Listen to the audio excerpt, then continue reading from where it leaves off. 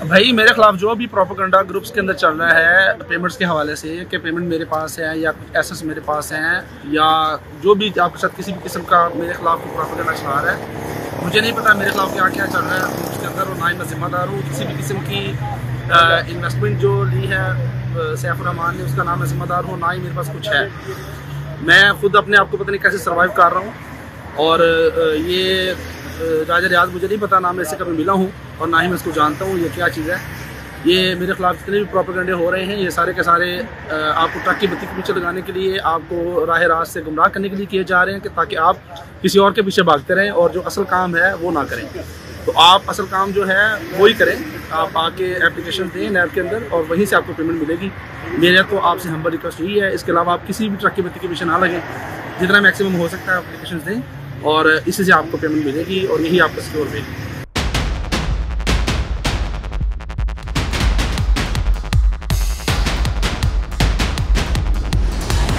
बिसमीम नाजरीन अस्सलाम आप देख रहे हैं वाश टाइम्स में हूँ आपका मेज़बान ताहिर नसीर। नाजरीन जहाँ रहें, खुश रहें, आबाद रहें, सलामत रहें। हमारी दुआ है कि आप नौसरबाजों से भी बच के रहें। कल के नाजरीन प्रोग्राम में आपको बताया था कि B for U group of companies के मालिक सैफुररहमान ख़ान न्याजी का बाकायदा ट्रायल यानी कि उनके केस का बाकायदा ट्रायल शुरू हो चुका है और आज गवाहान को भी तलब किया गया था। क्योंकि कल के प्रोग्राम में मैंने आपको बताया था कि आज सबक वज़ी अजम चेयरमैन पाकिस्तान तहरीक इमरान खान की पेशी है। सिक्योरिटी के इंतहाई सख्त इकदाम किए गए और हमने आवाम को जो बी फॉर यू के मुतासरीन हैं, उनको आगाह भी किया था। लेकिन इसके बावजूद जवेद ख़ान आज इस्लामाबाद की जो जुडिशल कम्प्लेक्स है, उसके बाहर मिले।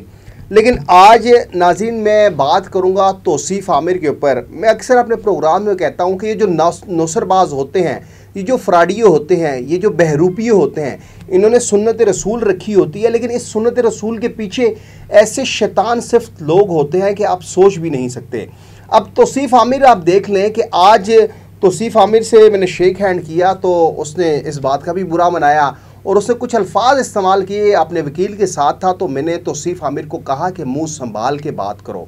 उसके बाद उनके वकील साहब ने कहा कि, कि आप तोसीफ़ आमिर को समझाया कि बहस मत करो। लेकिन तोसीफ़ आमिर वो शख्सियत है अल्लाह माफ़ करे इतनी बड़ी बड़ी सुन्नत रसूल इस शख्स ने रखी हुई है और जब बी फॉर यू का पैसा आता था तो ये उसके पैसों पर अयाशी मारता था।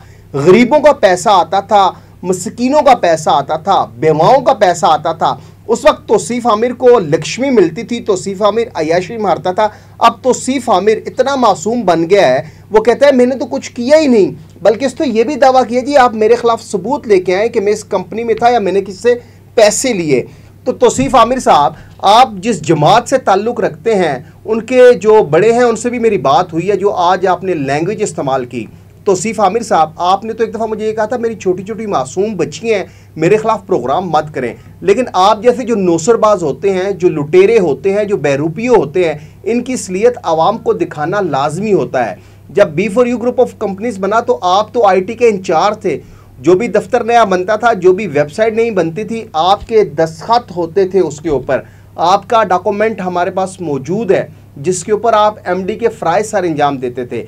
इसके अलावा जब सैफुररहमान खान न्याजी के ऊपर केस बना, अगर आप इतने ही मासूम थे, आपको सैफुररहमान खान न्याजी की नसरबाजियों के मतलब नहीं पता था तो फिर आपने उसकी कंपनी किस हैसियत से ज्वाइन की थी? कि आपको ये नहीं मालूम था कि सैफुररहमान खान न्याजी पैसे डबल करने वाला एक डबल शाह है? कि आपको ये नहीं मालूम था कि सैफुररहमान खान न्याजी का कोई फ़िज़िकल प्रोजेक्ट नहीं है? क्या आपको ये नहीं मालूम था कि सैफुररहमान खान न्याजी नसरबाजी करेगा? इस नसरबाजी में तोसीफ़ आमिर साहब, आपने सुन्नत रसूल रखी है, आप इसके साथ शराकत दार थे, आप इसके साथ पार्टनर थे। आपको मालूम था कि सैफुर रहमान खान न्याजी फ्रॉड करेगा। इसलिए जब नैब रेफरेंस ज़ाहिर होता है तो आप दुबई भाग जाते हैं। क्यों दुबई भागते हैं? आपके पास पैसा कहाँ से आया? आप तो कहते हैं कि मैं तो आईटी से, आईटी का बंदा हूँ। तो आईटी के बंदे के पास इतना पैसा कहाँ से आ सकता है कि वो दुबई जाके यशी मारे? आपने, आपके और आपके भाई के ऊपर जो बेनामी जायदादें खरीदी गई हैं, आपके ऊपर तो एक मुकदमा भी दर्ज है। वो बेनामी जायदादों का कब्ज़ा जो आपने किया है, जो आपने ली है, जो मुकदमा दर्ज हुआ है, वो कल के प्रोग्राम में चलाएँगे कि आप किस तरह लोगों के साथ फ्रॉड करते हैं। आप वो जो एक जमात का प्रचार करते हैं, एक जमात का लबादा ओढ़ के, उन जमात के जो सरबराहान हैं, आप उनका नाम भी बदनाम कर रहे हैं।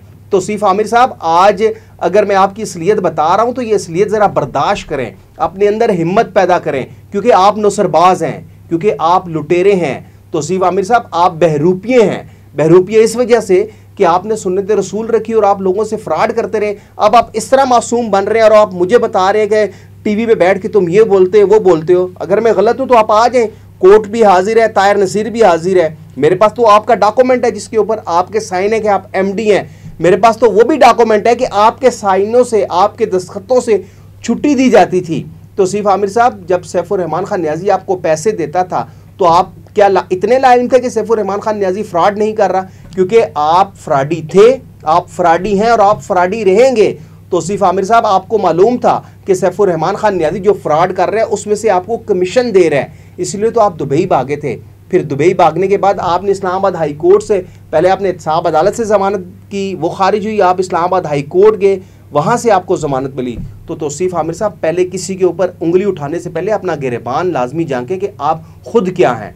आपके ऊपर जो मुकदमा है, जो कब्ज़े का, जो और मनी लॉन्ड्रिंग का, इस तरह के जो कब्ज़े, जो एफ़ आई आर हमारे पास पड़ी हुई है, वो एफ़ आई आर हम चलाएँगे और हम कोशिश करेंगे कि जो मदई है उस मुकदमे का हम उससे भी रबता करेंगे। इसके अलावा आपकी और कौन कौन सी बातें हैं जो इनशाला आने वाले दिनों में आपको बताएँगे? क्योंकि आपने तो कहा जी, मैं झूठ बोलता हूँ। आपने कुछ और एक बहुत ही जो उसे क्या कहते हैं कि एक तो होता है ना कि इंसान किसी की नज़रों से गिर जाता है। आपने माशाल्लाह इतनी बड़ी सुन्नत रसूल रखी और आपने जो अल्फाज इस्तेमाल किए हैं, वो आपको जेब नहीं देते। एक वो शख्स जो मज़हब का लबादा ओढ़ कर किसी के साथ फ्रॉड करे तो क्या आपको ये वक्त वो भूल गए हैं कि आपने एक दिन मरना भी है? तो सिर्फ़ आमिर साहब आपकी इसलिए तायर नसीर बताएगा डॉक्यूमेंटेड प्रूफ के साथ बताएगा। और आपके जो भाई साहब हैं, उन तक भी हम अप्रोच करेंगे। उनको भी हम बताएँगे, आपकी इसलियत खैर वो आप, वो अच्छे तरीके से जानते हैं कि आपकी इसलियत क्या है, लेकिन बहुत सी चीज़ें वाच टाइम्स के प्लेटफॉर्म से तोसीफ़ आमिर की आपको बताएँगे। तोसीफ़ आमिर को मैं दोबारा से कह रहा हूँ कि इस नैब रेफरेंस में जो लोग नए एप्लीकेंट हैं, वो भी इसमें तोसीफ़ आमिर के ख़िलाफ़ भी दरख्वास्त दे के जो आईटी का हेड है, वो ये तोसीफ़ आमिर था। एमडी जो था, वो तोसीफ़ आमिर था। इसलिए तो नैब रेफरेंस में तोसीफ़ आमिर का नाम है। जिस तरह आज तोसीफ़ आमिर साहब, आपने लैंग्वेज इस्तेमाल की जिस तरह धमकाया मुझे तो मैं चाहता तो मैं आपके ख़िलाफ़ दरख्वास्त भी दे सकता था। वहाँ पे और जर्नलिस्ट भी खड़े थे। क्योंकि आपके वकील साहब भी इन तमाम बातों के जो हैं, वो गवाह है। जिस तरह की आपने टून, जिस तरह के आपने अल्फाज इस्तेमाल किए। कल के प्रोग्राम में तोसीफ़ आमिर के ऊपर जो मुकदमा एक दर्ज हुआ है वो मुकदमा कितने करोड़ों रुपए का है, कौन सी बेनामी जायदाद का है, उस हवाले से आपको बताएँगे। अगले प्रोग्राम तक के लिए अपने मेज़बान, ताहिर नसीर को इजाज़त दीजिए। अल्लाह हाफिज़।